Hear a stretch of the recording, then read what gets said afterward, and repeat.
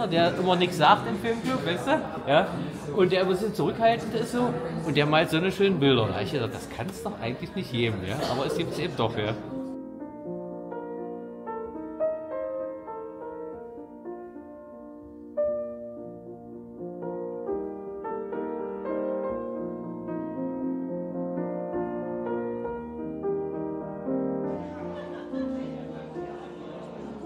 Brigitte, mal ein paar Worte zu unserem Filmfreund Dieter. Ich bin einfach begeistert. Es ist so toll, hat man nicht gedacht, was hinter Dieter steckt oder in Dieter steckt. Und das hat er heute mal so richtig rausgelassen. Wunderbar. Auf seine ganz eigene Art, so ohne Worte, sondern mit Bildern und mit Filmen. Klasse.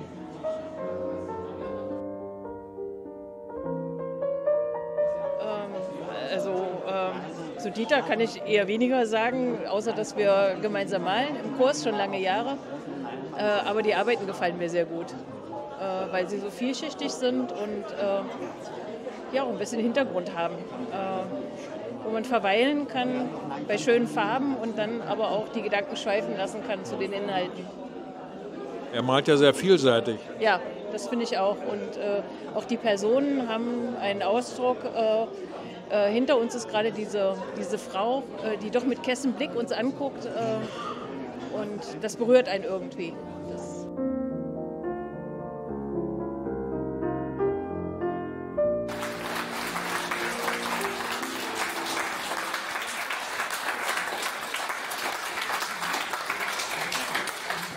funktioniert der Schnips und die Spure, ja.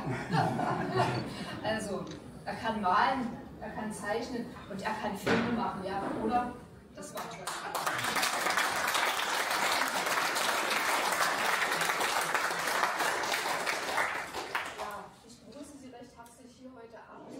Ja, also Dieter kann nicht nur zeichnen und malen, wie wir hier bei uns sehen in der Ausstellung, sondern er kann auch einen ganz tollen Film, Filme überhaupt machen. Und der Film zur Einführung war jetzt wirklich also auch sehr emotional und hat wunderbar auf die ähm, Ausstellung hingewiesen und hat uns eingeführt. Ja. Also das, also das. Und als Bibliothek haben wir viele Ausstellungen, wechselnde Ausstellungen große und kleine. Und in unserem Lesecafé ist Dieter Drewitz mit seiner Werkschau Dieter Drewitz unsere letzte Ausstellung in diesem Jahr. Und für uns gerade so als Kollegen und Mitarbeiter der Stadtbibliothek auch nochmal so der absolute Höhepunkt, ja, weil wir ihn sehr geschätzt haben und immer noch schätzen als Kollegen und guten Bibliothekar. Und alle nur scheint Wir haben Wein genug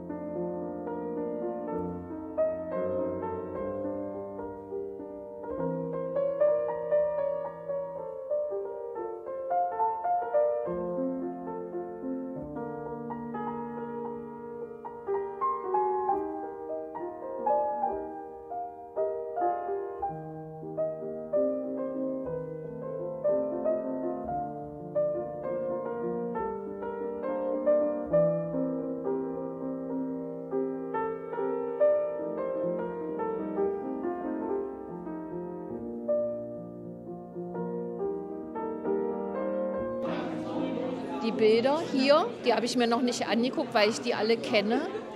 Und die liebe ich natürlich ganz, ganz sehr und die sind wundervoll. Ich bin aber froh über diesen Film, weil ganz viele Bilder ich erst das im Film das erste Mal gesehen habe. Deshalb war der Film außergewöhnlich. Ganz schön. Stimmt. Richtig toll. Viele Bilder, die hier nicht hängen, die weiß ich nicht, wo er die hat verkauft. Schöne Arbeiten nochmal. so Werke aus früheren Zeiten. Mit Kreide, das war schon toll. Also der Film war toll. Dankeschön, schöne Bitteschön. Weihnachten. Dankeschön, finde ich auch. Äh, Ich kenne Dieter schon viele Jahrzehnte. Bin eine gute alte Freundin von Dieter. Zur Schule gegangen? Nein, äh, wir haben uns damals im OVG-Club kennengelernt.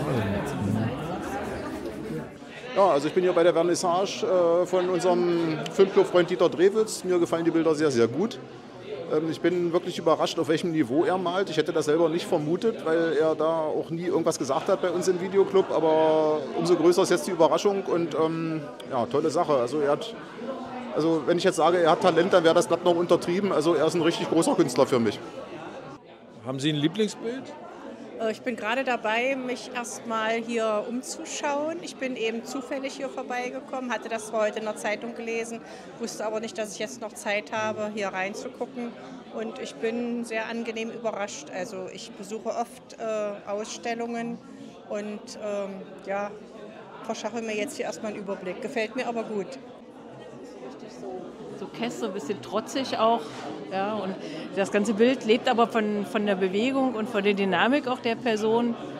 So einerseits, wie sie so die Schulter so, äh, ja, auch so ein bisschen Kess hochhebt, aber andererseits den Arm nach hinten versteckt. Also äh, sie, sie kommt ins Bild rein und nimmt sich aber auch gleichzeitig wieder zurück. Und das hat schon irgendwie so ein, etwas, was es interessant macht. Dieter ist einmalig. Malen Sie selbst auch? Nein, zu Hause für mich, aber nein. Oder mit meiner kleinen Tochter, aber sonst nicht. Alles gut.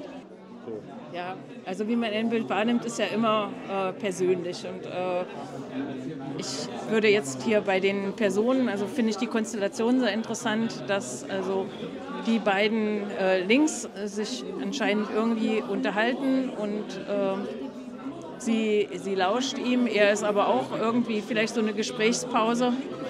Äh, ganz rechts die Person, die schaut wieder auf die anderen. Ähm, sie interagieren irgendwie alle. Und die Frau in der Mitte, die die Hand vors Gesicht hebt, die schaut einen aber auch nicht direkt an, aber sie ist mit ihrem Lächeln äh, doch irgendwie die aktivste Person, ist auch so ein bisschen herausgehoben durch diesen Hintergrund des Grüns, der sich so rechts und links um ihren Kopf schmiegt. Und dadurch bekommt das Bild äh, ja auch etwas Aktives und man muss diese Frau anschauen. Und das Schöne ist eigentlich, dass sie lächelt. Das, äh, damit kriegt das äh, ganze Ensemble irgendwie auch so einen positiven Eindruck. Selbst wenn sie also nicht direkt Kontakt aufnimmt, äh, ist es aber trotzdem dieses Lächeln, was einer in diesem Bild dann auch äh, berührt. Schön vor. Ja, also äh, ich kenne den Dieter Drewitz seit, seit vielen, vielen Jahren, aber ich habe nicht gewusst, dass der so gut malen kann.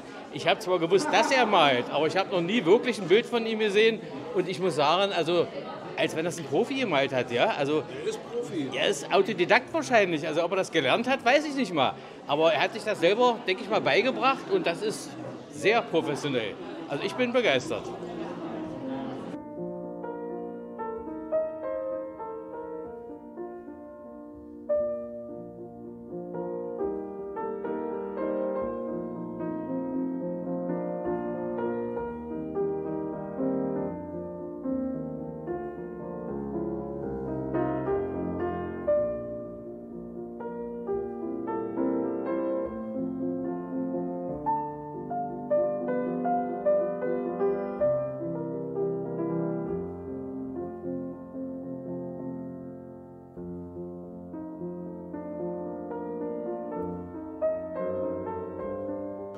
Ich finde auch, er hat die, den Perspektivblick richtig gut drauf. Also man, man sieht ja oft also gemalte Menschen, bei denen die Perspektiven vielleicht nicht ganz hundertprozentig stimmen oder wo irgendwas äh, einen dazu bewegt zu sagen, das ist nicht perfekt und das ist nicht so gut, aber man merkt ihm eine, eine Freude am Malen an und man merkt ihm auch an, dass er das, was er in Angriff nimmt, weitestgehend beherrscht. Also wenn er ein Bild anfängt zu malen, weiß er schon, was rauskommt und er weiß auch, dass es gut werden soll. Und das ist ja eigentlich das, was, was Künstler ausmacht. Und äh, für mich ist er ein Künstler, der auf beachtlichem Niveau malt.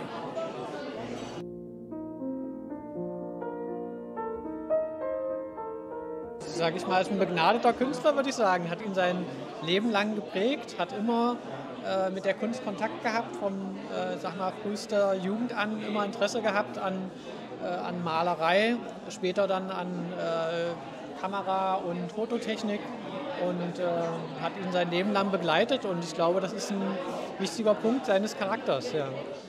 Malen Sie auch? Nee, ich äh, bin, sage ich mal, als Computerspielkind groß geworden und bin in diesen Hobbys immer noch hängen geblieben und äh, habe keine künstlerische Ader für mich äh, entdeckt und erkannt. Aber ich sag mal, das, da ist ja jeder sehr individuell. Aber ein Bild von Vater hängt doch bestimmt in der Wohnung. Ja, na, mehrere, mehrere. Also ich bin auch großer Fan. Äh, also mir gefallen halt insbesondere so eher die abstrakten äh, Kunstwerke, die er gemacht hat. Und äh, ja, finde das wirklich sehr schön. Alles Gute Ihnen und äh, schöne Weihnachten. Vielen Dank, ebenso. Das war so eine Idee, wo ich dachte, das ist besser als jede Rede, die man redet. Und außerdem bin ich nicht der Redenredner und bin zu aufgeregt. Also deshalb passiert dann nichts Positives, sondern durch den Film bin ich geschult durch euch, durch uns und mache sowas auch gerne. Da sind natürlich dann noch SD-Aufnahmen dabei, alte Aufnahmen von 99, wo ich da meine Arbeit gezeigt habe, wie ich das zweite Gemälde gemacht habe. Das erste habe ich übrigens verbrannt. Das gibt's, das, Gemälde verbrannt. Es gibt zwei Fassungen von der unverhofften Wiederbegegnung. Und die erste Fassung, die habe ich aus Liebe zu meiner damaligen Ehefrau verbrannt.